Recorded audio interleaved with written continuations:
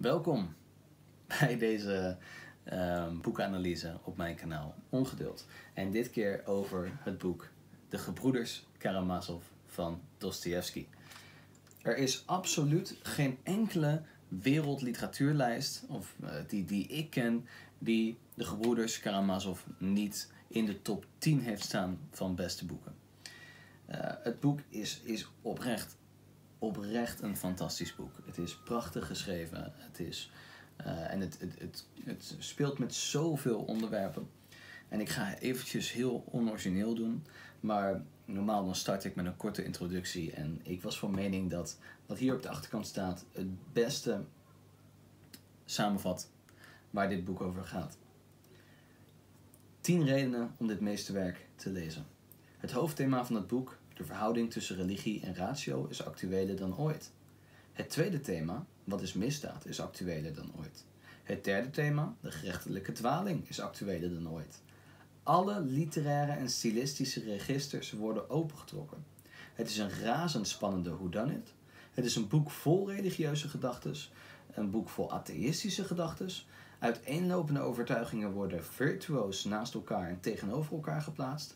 En het gehele boek is prachtig maar de twee hoofdstukken, De Grote Inquisiteur en De Duivel, zijn absolute toppen in de wereldliteratuur.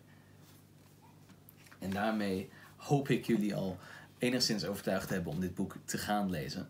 Ehm, voor de mensen die alsnog geïnteresseerd zijn ehm, in een verdere analyse, let op, spoilers. Dat is belangrijk. Nou, in principe is het boek een, een filosofisch meesterwerk. Het is een boek dat heel erg, zoals jullie al merkten, inspeelt op verschillende atheïstische en religieuze gedachten en hiermee aan de haal gaat. Dit is een discussie die constant, constant terugkomt in, tussen verschillende karakters in dit boek.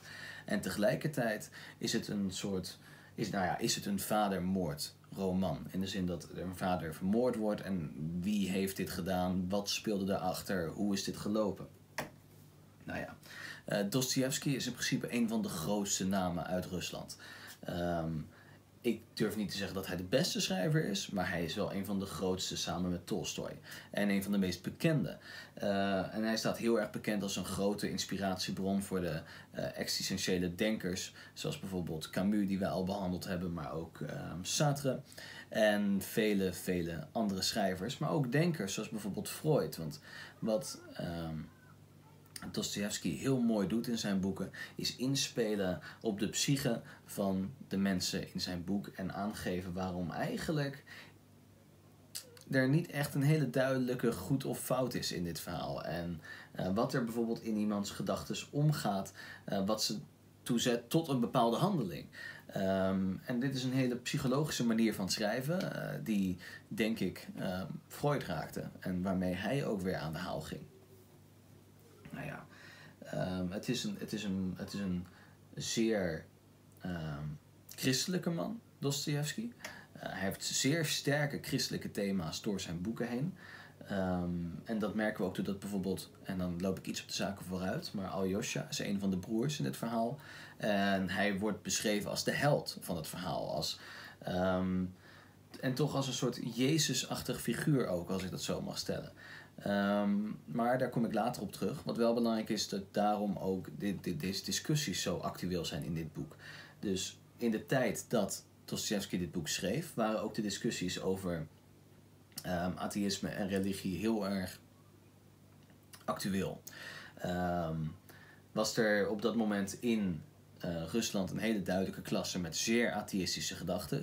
En Dostoevsky als zeer orthodoxe uh, christenen wilden daar wil, nou, wilden een eerlijke kans geven ook aan die argumenten. Want het is absoluut niet alsof het christelijk argument in dit boek um, sterker is of overwint, als het ware. Um, ik zou zelfs willen zeggen dat een aantal van de argumenten voor bijvoorbeeld het atheïsme veel sterker uitkomen, vooral op rationele basis, dan uh, de christelijke argumenten. Maar goed, dit zit er doorheen verweven. Uh, en verder is het een hele realistische schrijver met zware symboliek. Dus ik kaart net al een beetje aan met wie dan Alyosha als het ware. Uh, dus als een soort Jezusfiguur, als een soort een christelijk man. Uh, maar tegelijkertijd heb je dan Ivan, een andere broer, die juist weer heel erg de atheïst symboliseert. Dus het is een hele realistische schrijver qua doen en laten. Je zal geen surrealistische of zeer romantische teksten voor, nou ja, die zullen je niet om de oren vliegen. Zoals bijvoorbeeld um, bij Verboden Liefde. Uh, het is heel, maar het is heel realistisch en geschreven. Goed.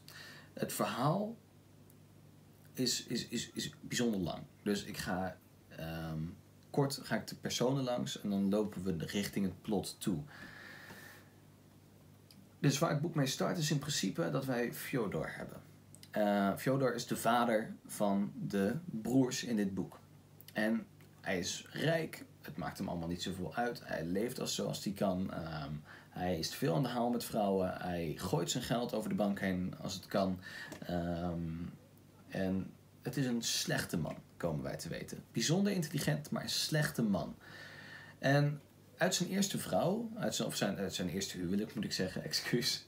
Maar uit zijn eerste huwelijk komt um, de oudste broer, Dimitri. En Dimitri lijkt op zijn vader. Zeer gepassioneerd, um, zeer makkelijk met geld over de bank gooien. Zeer, um, nou, het ene moment kan hij heel eerlijk zijn, heel oprecht, heel open, heel liefdevol. En het andere moment uh, kan die geraakt zijn in zijn eer. En dan begint, zit hij in een zwaar gevecht. En dan zit hij diep in de problemen.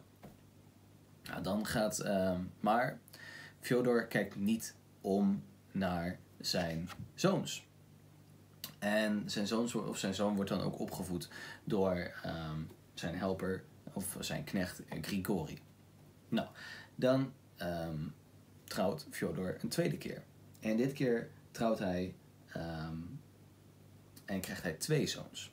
En deze twee zoons zijn Ivan en de jongste Aljosha. En over beide heb ik al wat benoemd. We hebben Ivan en die ontwikkelt zich tot een zeer uh, intellectuele, um, bijna atheïstische man. Um, hij, hij, okay, hij stelt het zo dat aan de ene kant, hij, hij, hij stelt als het ware, A, God bestaat, maar hij is nou ja, wat, wat, hij krijgt het niet rond hoe God dan zo zou kunnen zijn door de hoeveelheid lijden dat er is in de wereld. Of B, God bestaat niet en een middenweg is er niet. En Aljosha is dan uh, een zeer jonge man, ook de jongste broer, um, die opleidt um, tot monnik. Ja, en al deze figuren komen elkaar tegen door um, één gebeurtenis en dat is een financiële gebeurtenis.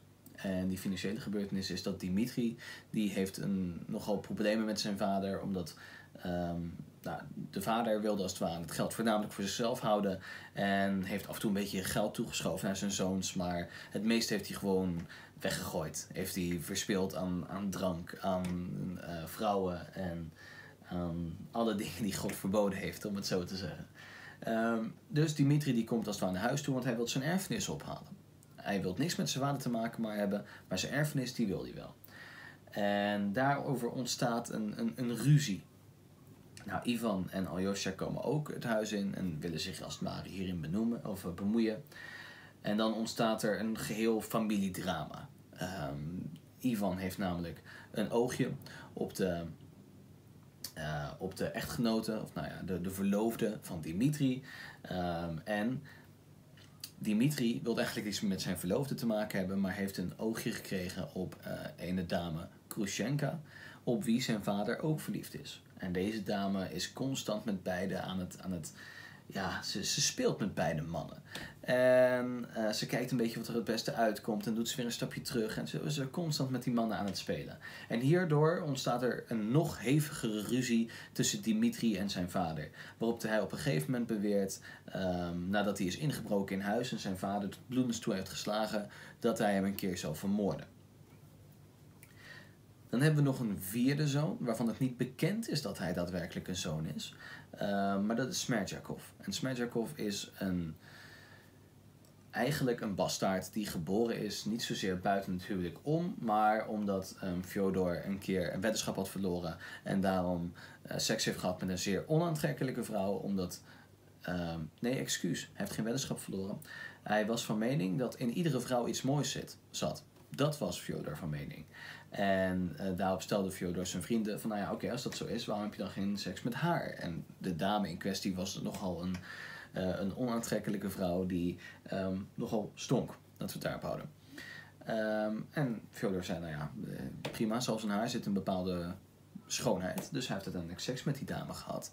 En dat heeft ertoe geleid dat de vierde zoon als het ware geboren was, maar nooit echt volledig erkend is.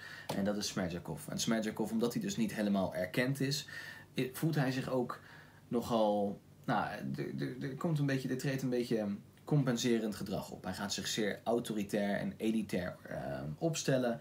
Um, en hij is nogal jaloers op het geld en um, de status die de andere broers hebben. Nou, om jullie terug te nemen naar, naar een stukje, stuk eerder. Uh, dus naar de belediging die, of tenminste het, dreig, het dreigement die dan Dimitri naar zijn vader heeft gedaan.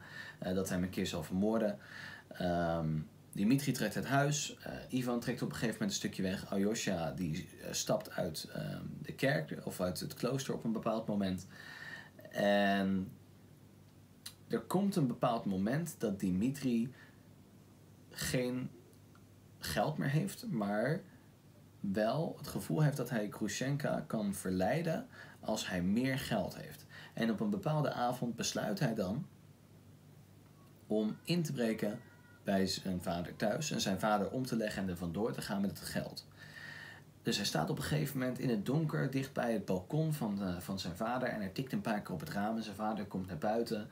En op een gegeven moment is er, hoort hij de knecht buiten lopen en denkt hij: nee, dit, dit ga ik niet doen. Ik ga niet mijn vader omleggen, dit, dit, dit wordt hem niet. Dus hij vlucht. En op het moment dat hij vlucht en hij springt over de schutting heen, wordt hij beetgepakt bij zijn been door de knecht en teruggetrokken. En hij slaat op dat moment de knecht met een soort knuppel, waardoor de knecht tot bloedens toe op de grond valt. Maar ja, die knecht heeft hem in principe opgevoed. Dus hij springt weer terug en op dat moment probeert hij de knecht zijn, zijn hoofdwonden een beetje af te deppen. En um, maar hij, hij realiseert zich ook van ja, dit werkt niet. Straks worden de mensen wakker. Dus hij vlucht. Onder het bloed vlucht hij. Um, maar hij had nog altijd wat geld. Hij had een klein buideltje. En naar zijn mening met ongeveer 3000 roebels. En daarvan was hij van mening van nou ja, prima, Grigori, de knecht gaat hoogstwaarschijnlijk dood. Uh, ik word straks gezocht. Ik ga Krushenka achterna. En ik wil nog één keer een fantastische avond met haar hebben. Dus hij vlucht, gaat Krushenka achterna, vindt haar in een café, heeft, een, heeft de avond van zijn leven, drinkt. En, en, en, en nou ja, het, is. Het is um, de details bespaar ik jullie, maar het is nogal wat. Um, en op een bepaalde ochtend wordt, wordt er op een gegeven moment wordt hij opgehaald door de politie. En waarom wordt hij opgehaald door de politie? Zijn vader is gestorven. En hij wordt meegenomen en gevangen gezet op dat moment stappen we eventjes van, van, van, van, van Dimitri dan af. En komen we dan weer in het verhaal van, van Ivan terecht. En Ivan die gaat dan, die, die, is, die, die, staat, die heeft um, eigenlijk een constante strijd met zichzelf over uh, religie. En bestaat God nou ja of nee? En hij heeft een aantal gesprekken heeft hij met uh, Smerjakov um, heeft hij gehad over bestaat God nu ja of nee? En Ivan is van mening, God bestaat niet. Daar hoeven we niet naar om te kijken. God bestaat niet. En op het moment dat zijn broer dan in de gevangenis terechtkomt, gaat hij een aantal keer met Smedjakov op gesprek. En komt hij erachter dat, um, een bekend Smedjakov dat ook aan hem, dat Smedjakov Fyodor, dus de vader, heeft omgelegd. Want ja, beweert Smedjakov, God bestaat niet. Dus wat houdt me tegen? Ik wilde het geld ik wilde er vandoor kunnen gaan. Ik wilde de roem en, en wat jullie hebben. Waarom, wat, wat weerhoudt mij met het omleggen van Smerjakov? Dan komen we eigenlijk in, in, in, in de neerwaartse spiraal van het verhaal. In de zin dat uh, Dimitri uiteindelijk vervolgd wordt en hij komt niet vrij. Uh, Ivan komt in een discussie, in een debat met zichzelf, want hij wil. Um, hij, hij blijft piekeren over, maar hoe kan ik nou iemand aangezet hebben tot, tot het vermoorden van mijn eigen vader? Um, hierin komt dan ook het, bekende hoofdstuk duivels voor, uh, wat ik al uh, besproken heb en wat ik met jullie nu hier zal delen. En we zien als het ware hoe Ivan steeds gekker en gekker wordt. En, en niet meer weet wat hij nou moet doen en wat hij aan moet met zichzelf. Uh, tegelijkertijd weet hij ook Dimitri niet te redden, want Smerjakov pleegt eigenlijk de dag na zijn bekentenis zelfmoord. Hij hangt zichzelf op. Dus Dimitri wordt vervolgd en Ivan wordt langzamerhand gek. En de enige die een, tot een soort goed einde komt is Alyosha. Uh, Alyosha weet ehm, uit het klooster te treden ehm, en ja, uiteindelijk nog de boodschap als het ware van binnen de bevolking rond te brengen als het gaat om liefde en vergeving. En dit is een mooi stuk dat ik uh, voor zou willen lezen. Als het gaat om uh, een van de laatste bladzijden. En dan hebben we Alyosha, die dan met een, uh, op de begrafenis is van een kindje. En hij staat daar met een aantal vrienden van het kindje. En hij, hij benoemt het volgende. Um, Weet dan dat er niets hogers, krachtigers, gezonders en nuttigers is in jullie verdere leven en bestaat dan een goede herinnering. Vooral eentje uit je kindertijd, uit het ouderlijk huis. Jullie horen veel over je opvoedingspraten. Maar één zo'n prachtige, heilige herinnering uit je kindertijd is misschien wel de beste opvoeding die er is. Wanneer je veel van zulke herinneringen uh, mee kunt nemen in je latere leven, dan ben je voor je hele leven gered. En zelfs wanneer er maar één zo'n goede herinnering in je hart overblijft, dan toch kan die ooit je redding zijn. Misschien worden we later wel slecht. Misschien zijn we wel niet in staat de verleidingen van een slechte daad te weerstaan. Misschien lachen we later wel over de tranen van de mensen om ons heen. Misschien bespotten we die mensen later wel en onbarmhartig. Maar toch, hoe slecht we later ook worden, wat God verhoede, bij de herinnering aan hoe we Iljosha het jongetje dat overleden is, mm, hebben begraven. Hoeveel we die laatste dagen van hem hielden en hoe we zo vriendschappelijk samen bij die stenen hebben staan praten, dan zal ook de vreedste en spotlustigste van ons, gesteld dat we later zo zijn geworden, toch diep van binnen niet durven te lachen om het feit dat hij op dit huidige ogenblik zo goed was. Bovendien kan deze herinnering hem misschien van groter kwaad weerhouden. En bedenkt hij zich nog eens. En dit is naar mijn mening ook een mooie aanleiding om over te gaan in de interpretatie. Want wat je hier ziet is toch een soort bepaalde christelijke gedachtegang van vergeving, van liefde, van het goede. Uh, dat bekend is bij, bij Dostoevsky. Als, uh, wat ik al benoemde, hij is een zeer uh, christelijk-orthodox schrijver. Dat was ook verwerkt door zijn teksten heen. Maar hier zie je dat heel duidelijk in dit laatste stuk. En ik vind dat, ik vind dat mooi, moet ik eerlijk zeggen. Um, en dit is ook een, dit teken van liefde is ook een, een teken dat je veel vaker terug ziet komen in het boek. Ik heb dit um, kunnen duiden in bijvoorbeeld um, het hoofdstuk van de Grote Inquisiteur, waar ik een aparte video heb gemaakt, waar ook de eindconclusie als het ware de oneindige liefde en vergeving is. Ik zal die video trouwens hier delen. Um, maar als we inderdaad gaan kijken naar de interpretatie, er zijn een aantal hele mooie delen. En een van de delen waarin het christelijke aspect heel duidelijk naar voren komt, is uh, de mentor van Alyosha. Uh, dat is Sosima, een soort, ja, um, ze noemen het een starets. En het is niet iemand die dat direct een monnik is, maar wel verbonden staat aan het klooster. En die uh, onder zijn hoede had genomen. En um, deze man overlijdt op een gegeven moment halverwege het boek. En dan krijgen we als het ware de aantekeningen of um, de brieven van um, de laatste momenten van Soshima krijgen we dan binnen. Waarin een hele duidelijke leer staat geschreven over dat de mens nou eenmaal zondig is, maar dat we moeten vergeven. En dat we vol liefde moeten zijn naar de medemens als het ware. En dat hij spreekt van een bepaalde oneindige liefde. Uh, en deze, deze gedachten zijn dan ook Um, gebaseerd op uh, Dostoevsky, die zelf een tijdje in een klooster heeft gezeten. Omdat hij, ja, zijn mentale gezondheid was niet goed. Hij was fysiek ook niet bijzonder sterk. En um, daarom zat hij in een klooster en heeft hij daar heel veel gesprekken gehad met een monnik. En die heeft hem dan aangezet om deze um, gesprekken, als het ware, um, door middel van dan het, het fictionele uh, figuur Soshima uh, te verwerken in het boek. En alleen daarvoor is het al best wel waard om, om die teksten dan te kunnen lezen. Hoe um, dit soort gesprekken dan daadwerkelijk zijn gevoerd tussen Dostoevsky en die priester. En hoe die dan hierin beschreven staat. Dat vind ik al ontzettend mooi. Uh, en dat zijn ook bepaalde boodschappen eh, die, die, die ik ehm, zeker mee wil nemen. Eh, het niet proberen te oordelen. Het niet straffen, maar het vergeven. Eh, en inderdaad, het, het, het, soort van het concept van broederschap. We zijn allen gebroederd en naar het, nou naar het beeld van God. en dit, dit, vind ik, dit vind ik mooi, maar dit is zeer expliciet. Dus we hebben het bijvoorbeeld gehad dan over de grote inquisiteur, dat hoofdstuk. Hierin wordt een, ja, echt een, een, een zeer sterk argument gemaakt voor de atheïstische kant van Ehm, het spectrum. Wat ik ook zeker, zeker wil aanraden. Dus absoluut kijk ook die video.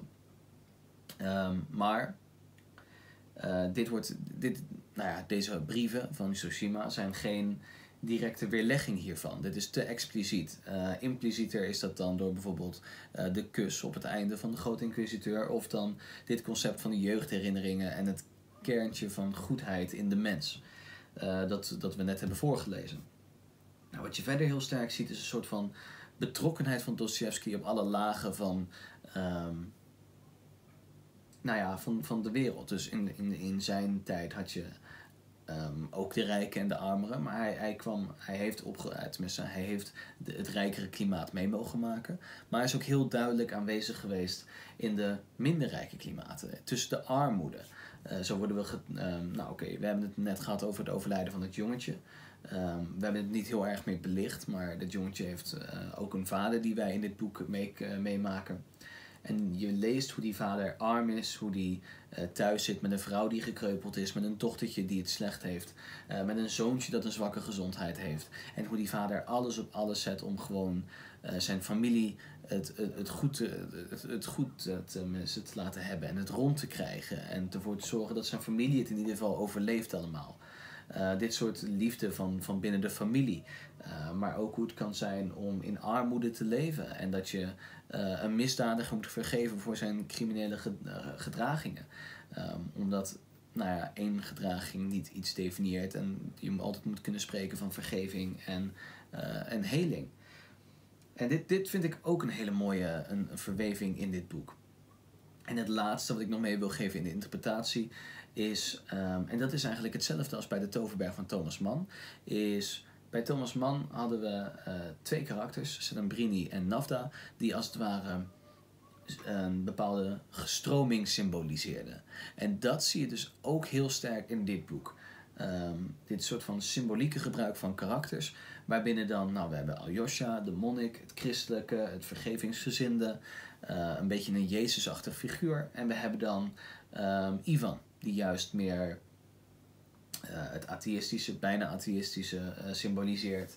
En nou ja, dan hebben we in principe als laatste, en, en dat vind ik wel, we hebben dan Dimitri. En Dimitri symboliseert misschien niet per se een stroming of een gedachtegang, maar is denk ik wel het menselijkst van iedereen. Het maken van fouten, um, het niet altijd het beste doen, het gepassioneerd het ene keer goed doen en het andere keer uh, fout, maar het wel proberen er sterker uit te komen en eerlijk te zijn.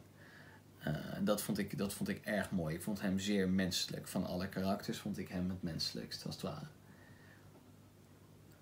Het is een boek dat ik nog vaker ga lezen. Zeker. Um, en waar ik naar uitkijk ook. Om nog een keer te herlezen. Ik, ik hoop ook zeker dat jullie het gaan lezen. En mochten jullie het gaan lezen, laat het me dan vooral weten. Daar kijk ik altijd naar uit, dat weten jullie. Um, mochten jullie uh, het al gelezen hebben, laat me dan ook vooral weten um, wat jullie van mijn opvattingen vonden. En hoe jullie het boek hebben opgevat. Daar kijk ik ook ontzettend naar uit. Uh, ik hoop jullie snel weer te